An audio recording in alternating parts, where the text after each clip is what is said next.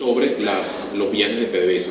Y ahí también entra el tema de nuestra refinería Citgo en los Estados Unidos, que recordemos que está eh, embargada, no embargada, está eh, hipotecada, es la palabra, está hipotecada porque estos bonos 2020 que fueron renegociados por estos irresponsables, dieron como garantía el 50% de las acciones de Citgo.